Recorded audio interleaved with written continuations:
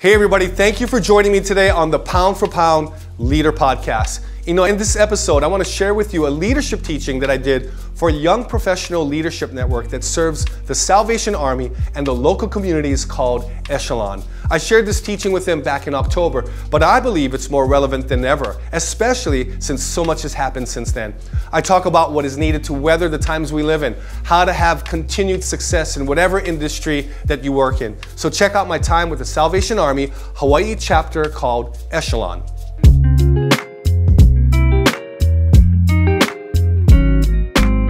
I love entrepreneurs. I love business people. And I, I, I wish I had something like this when I was younger.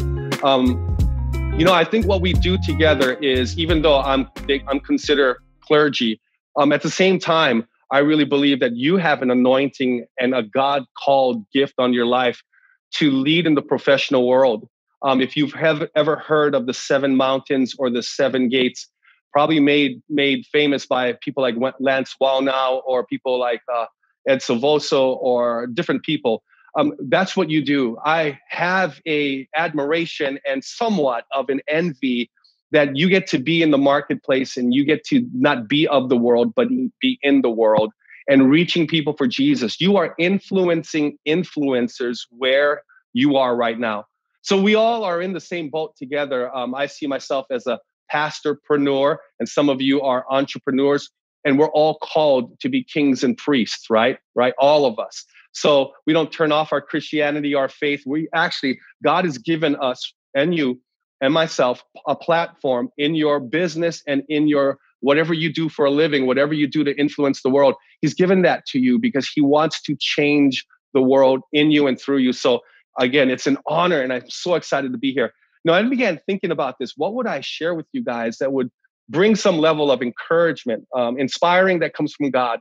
The word inspire actually means theos and pneuma put together, which means God breathe, theo, theos, theopneustos.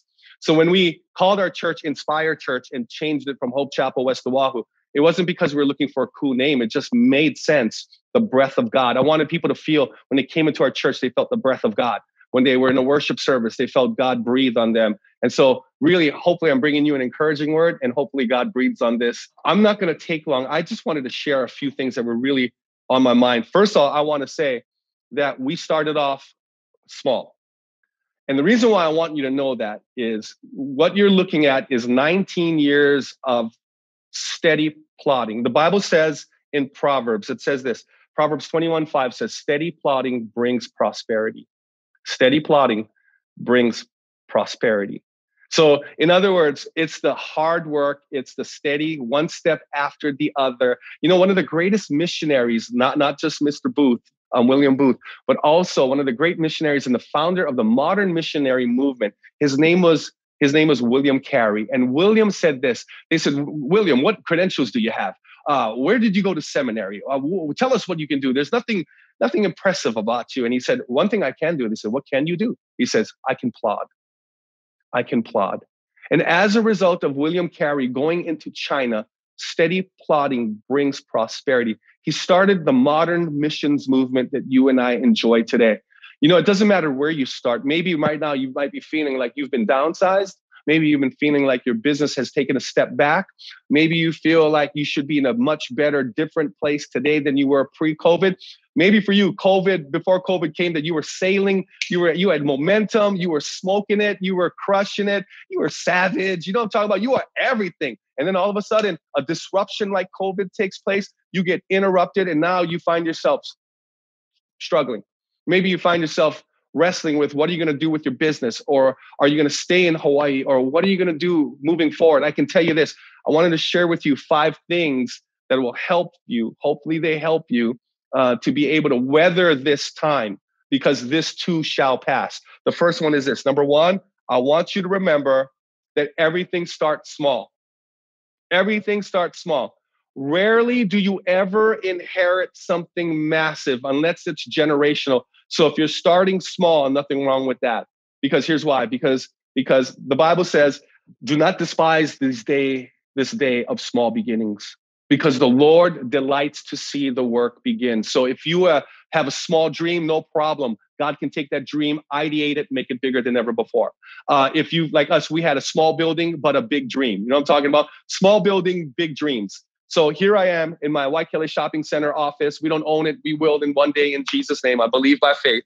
And I remember driving by this thing, and I was in the very hot Waikele Elementary School. Now, I don't know if you know it, but it was a brand new school. But for some reason, some engineer, DAGs, whatever, decided that, they, that, the, that the cafeteria did not need air conditioning. I can tell you, everything had air conditioning except the cafeteria.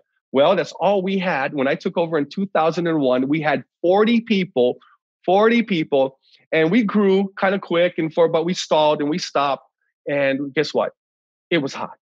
As a matter of fact, it was so hot that it was like an imu. I called it an imu. It was an underground oven of a church. People were sweating in my church. Nobody wanted to come to our church. I was like, why? What's wrong with us? There's nothing wrong with us. And but you know what? They wanted to go to all the churches that had air conditioning. So I would always be upset that we had no air conditioning. I'd be, I'd always look over at the other side of the fence and the grass is always greener. I'd be disappointed. I couldn't preach like Wayne Cordeiro. Pastor Wayne's one of my heroes. I came from Ralph Moore, but I wanted everybody wanted to be like Wayne. He could communicate, he could sing, he had the aloha shirts, he looked handsome, you know, he paddled canoe. And I and I realized that I'm not Wayne Cordeiro. When somebody said, Mike, be yourself, be your own best you. And I started to realize that God delighted to see the work begin. It doesn't matter. Some of you have had to downsize. Some of you had to move with your parents. Some of you have had to, you had big plans for your business uh, you wanted to expand, but now you, that's on hold for now. Maybe, maybe. But I want you to know this do not despise the day of small beginnings because the Lord delights to see the work begin. I would drive by this White Waikele shopping center and the building that we now occupy, it was just a dream. We didn't have any, we didn't have much money, but steady plotting brings prosperity. I would drive by that building on my way to the hot Waikele elementary, elementary school. Did I tell you guys it was hot? I did, right? It was hot. I would drive by every day. I'd yell at that building, that's my building in Jesus' name, and roll up my Honda Element window and keep on driving to my church and go to the reality. The reality was a very hot, very small elementary school cafeteria. I did that for seven years. That's my building in Jesus' name. That's my building in Jesus' name. I would drive by it. Sometimes the lights were on, they were closed. Nobody was in here. It was originally a sure save or a second save. Second save. Foodland Sack and Save. And then after that, it turned into an Ashley Furniture Home Store, got repurposed into an Ashley Furniture Home Store. Well, Ashley Furniture Home Store pulled out during the global pandemic, I mean, the global financial crisis. They pulled out, this building was empty for two years. I would always look at it, I'd drive by it, I'd yell at it, it's my building in Jesus' name. And I go back to my reality. Well, I did something. I did something that was crazy. I would sit in the parking lot and I would eat lunch and I'd look at that building. So that's my building. There are times I was so discouraged, I wouldn't even look at the building. I would drive by and I wouldn't even look at it on the way to the exit to get to Waikele. God did something amazing. We we had grown. Uh, we went from small to medium, and then all of a sudden, I guess the parable of the talents comes into play. Right? If you're faithful in the little, God will put you in charge of many. And so we were faithful with 40 people. We were faithful with the building that we had. We were faithful with taking care of it. We had we were renters, but we had owners mentality. That's a big difference. Um, and then one day I reached out to the owner who lived in San Diego. I found his address. I sent him a Hawaiian gift basket with cookies and chocolates. And if there was chocolate back then, I would I would have bought that. But I bought whatever I could. I put a DVD, okay, DVD, that's a long time ago. Made a DVD with me with a Starbucks cup of coffee standing in front of his building I said, Mr. Ernest Rady from San Diego, from American Assets. My name's Mike Kai. You don't know me. Got music playing in the background. I said, I'm standing in front of your building. Your building is empty right now, but it could be filled.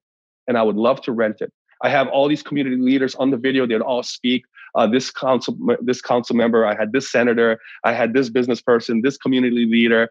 And then got back up to me. I said, "Well, Mr. Rady, if there's any chance I could own this, uh, rent this building, or own this building from you, I'd love to."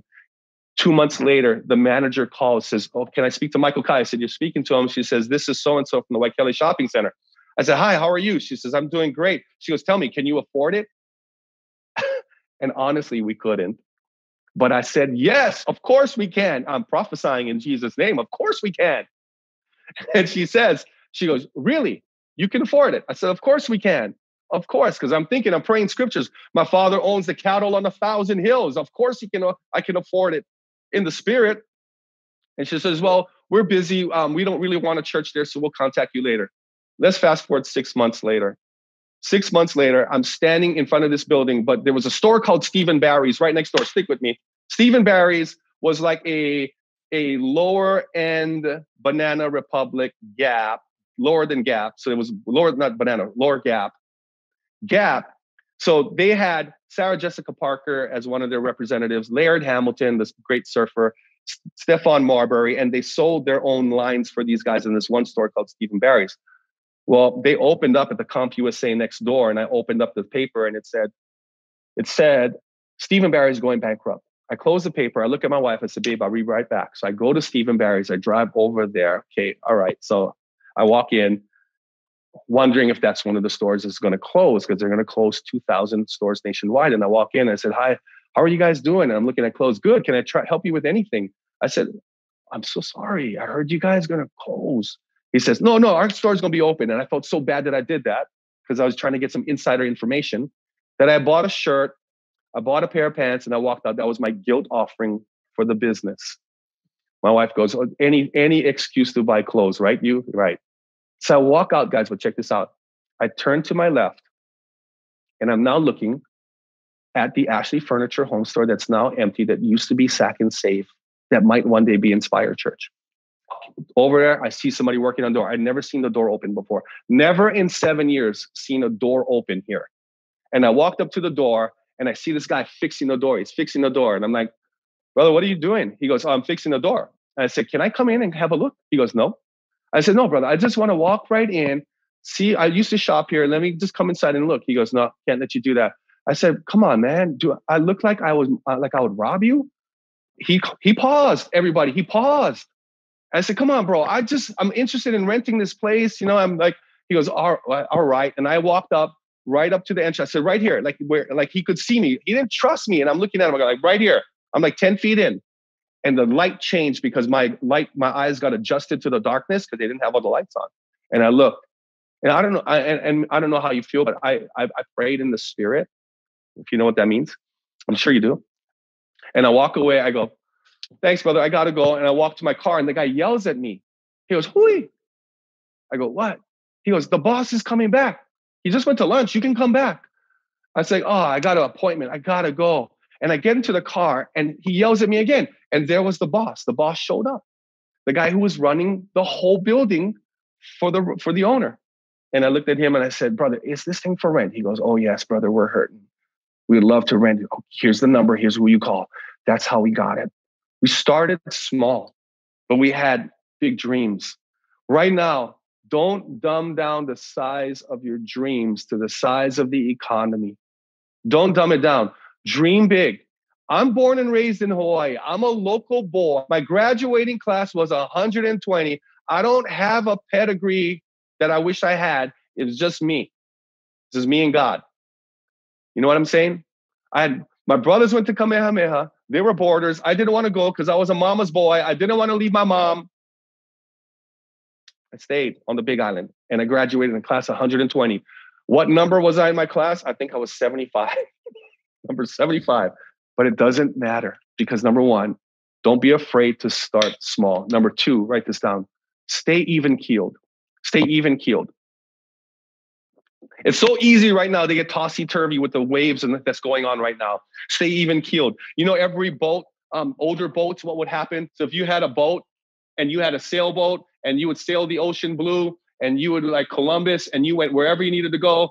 But the most important thing was that in order for the boat not to capsize, it needed to have ballast stones on the bottom. The ballast stones were really, really heavy, and you would carry the ballast stones into the hold or the hull of the ship. And that would allow that particular ship not to flip when the waves came or not to flip when the winds blew because it had enough ballast in its hold in our order for it to stay even keeled. Don't allow the times of this life right now to get you to lose your balance and stay off kilter. Don't, your time with Jesus is important. Your time with the Lord, reading of the word. Don't let the your social media grab you and drag you and your attention away in the morning when man, if you could get a couple of scriptures in, if you could get a couple of chapters in, if you could spend a little bit more time with the Lord, you can stay even keeled. You know, your emotions can inform you. Write this down. Your emotions can inform you, but you cannot them cannot let them lead you. Your emotions during a time like this can inform you, but you cannot let your emotions lead you. Number two, you stay even keeled. Number three, number three, you got to stay in the spirit. You got to stay in the spirit when you are staying in the spirit, um, you have to stay in the spirit because if you allow yourself, uh, I allow myself during times like this to act out in the flesh, to to be frustrated, to be um, ruled by again, ruled by my, my emotions, then I'm going to make um, bad decisions. I'm going to feel weaker physically. I'm going to lose strength because now more than ever, we need to fight off discouragement. Because right now you could be you could receive discouraging news, or everything that you're watching around you is discouraging, discouraging what's happening to the nation, the the unity that is gone, pretty much, um, all everything that's going on. You have to be able to strengthen yourself. And I love it because in First Samuel chapter 30, verse 6, it says that David strengthened himself in the Lord his God.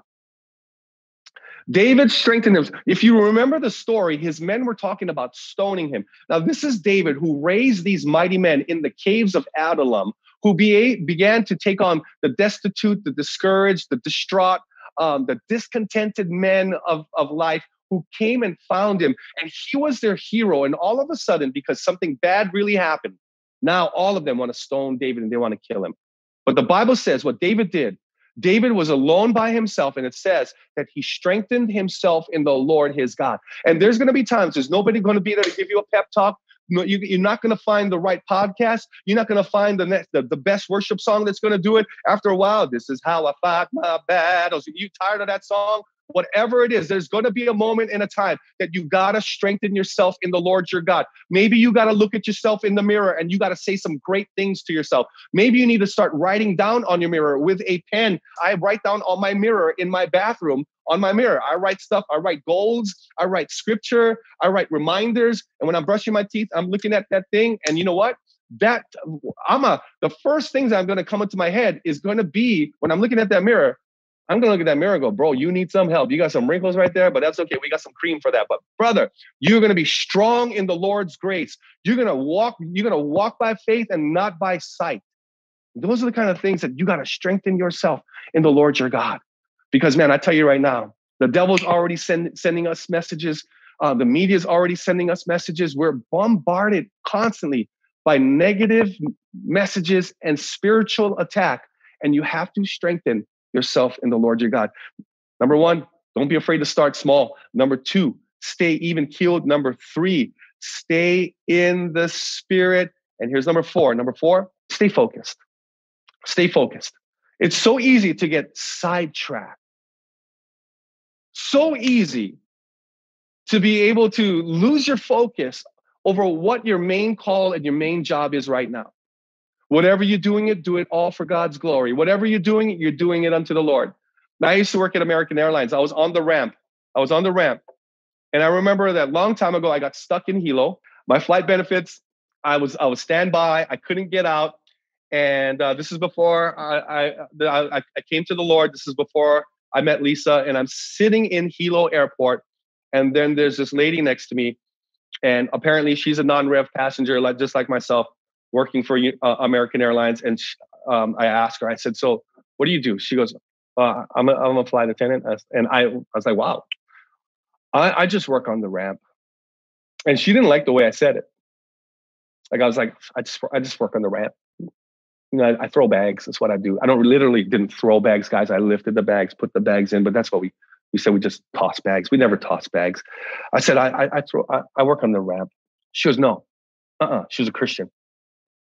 She goes, You don't just work on the ramp, you work on the ramp for Jesus. She literally did one of these before these were even popular.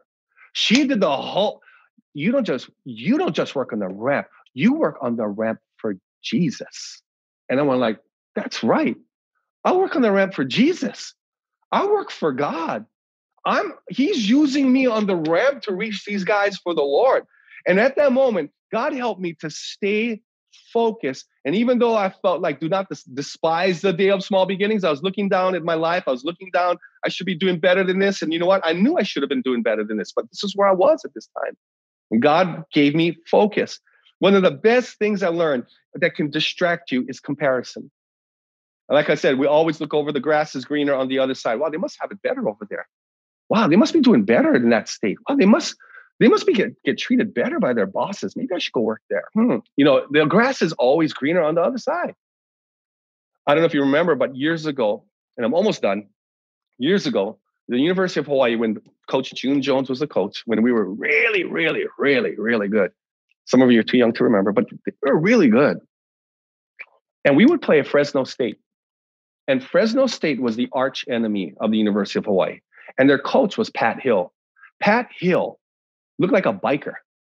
He looked like he came out of, you know I'm saying, Texas Roadhouse or something. You know, he had, he had a handlebar mustache, Fu Manchu, and he had his baseball cap and he had a scowl and he walked up and down. He would yell at the he would yell at the referees like no coach has ever yelled at the referees in Hawaii. And we were rivals, like rivals. And Fresno State was so good then, just like UH.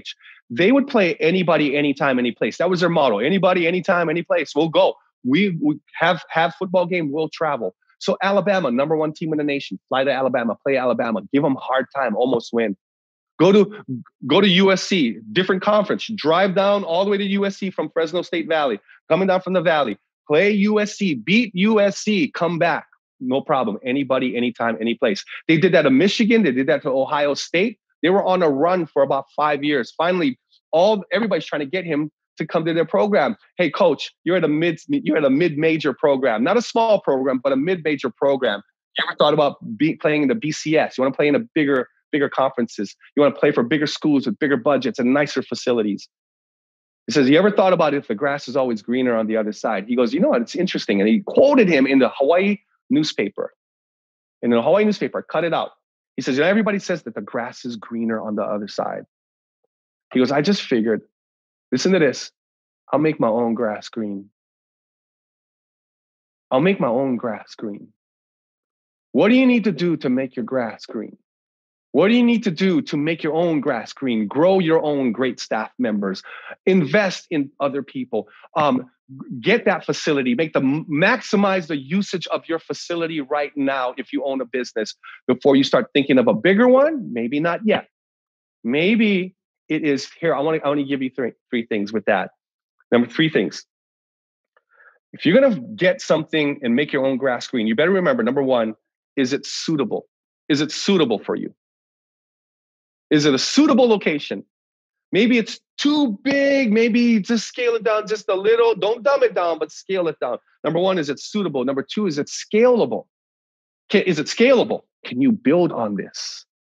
Can you build on this? Can you boutique on another island with somebody you trust? Or can you find another boutique spot in another cool spot on the island where, man, your store would fit there? Is it suitable? Is it scalable? Can you duplicate and replicate what you're doing in culture and in attitude that when they walk into your store in one place, they feel like they walked into the same one. It's just a little bit different because of the places where the building that it's in. Number three, is it sustainable? Is it sustainable? Can you sustain that? Can you sustain that growth? Can you sustain that business? Who are you training up right now that one day when you want to go jump on that opportunity, because there opportunities are coming, Somebody's going to close. I hate to say it, not you guys. Some big box is going to, some big box is, is not going to survive this. And then there's going to be space to rent. There's going to be stuff on the market. And are you ready now? Are you ready now? Or can you get ready financially to get solvent enough that when that opportunity comes, that opportunity knocks on your door, you open that door and God says, This is the door I have for you. Is it suitable? Is it scalable? And is it sustainable? And I leave you with this. We were going after 10 acres of land, 10 acres of land, everybody. That's big. In Kalaeloa, right down there. Kalaeloa, outside my window. H1's right there. Kalaeloa is over there. And we had been working on this, and they approached us. They found us. And there was a two year courtship of basically um, doing everything that we needed to do. It was it seemed like this was all God. Seemed like it was all God. This is the way that it happened. But then uh, they had a new CEO. The new CEO came, decides that they're going to push out the other guy, or not CEO, uh, number three guy, excuse me, pushes out the other guy, the guy that was working with us for two years.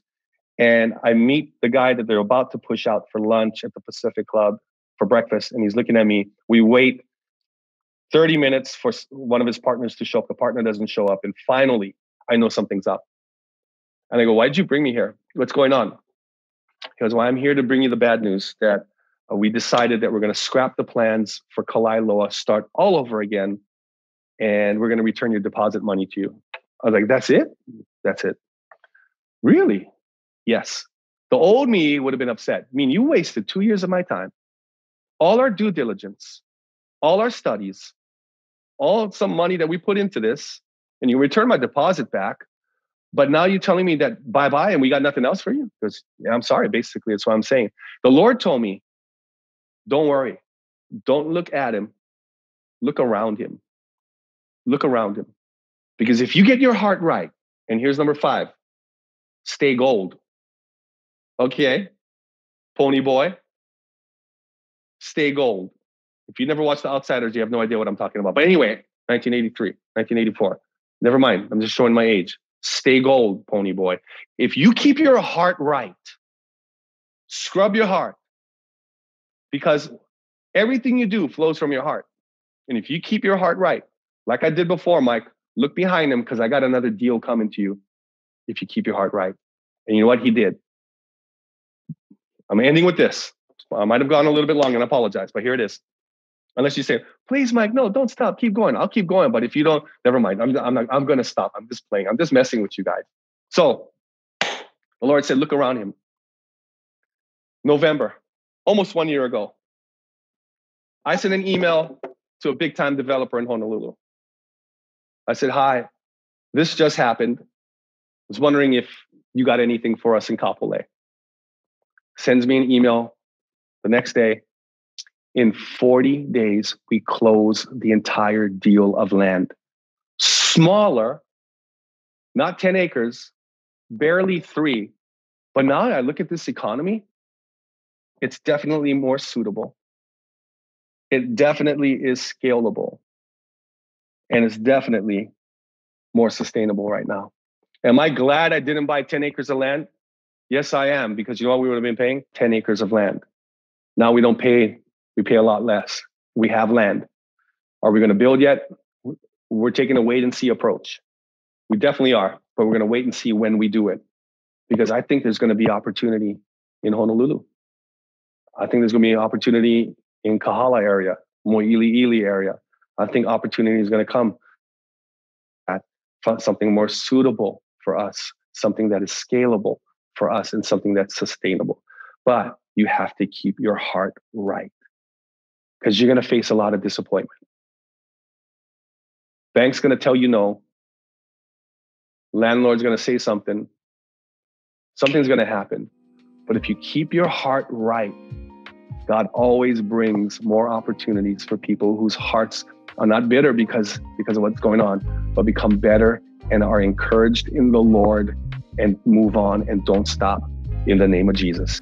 Hey everybody, well I hope you enjoyed that leadership teaching I did with the aspiring young leaders of Echelon. You know, I had a great time sharing with them and I hope this will help you in your career as you seek to thrive in these times. Hey, get ready everyone because we have our next pound for pound Leadership Summit in Asia coming up on March 6th. So stay tuned for more details on how and where and uh, how to get yourself registered. So follow me on Instagram at Mike Kai or visit our website at MikeKai.tv. So stay informed. And if you're looking for something to help strengthen the leadership of your team in this new year, then we've got the solution for you. So pick up the leadership edition of my book, The Pound for Pound Principle, and couple it with the masterclass digital course. And this leadership content may be just what you and your team needs to go to the next level. You know, you can pick it up today at MikeKai.tv. And thanks for joining me on the podcast for the Pound for Pound Leader Podcast. And until then, until next time, aloha.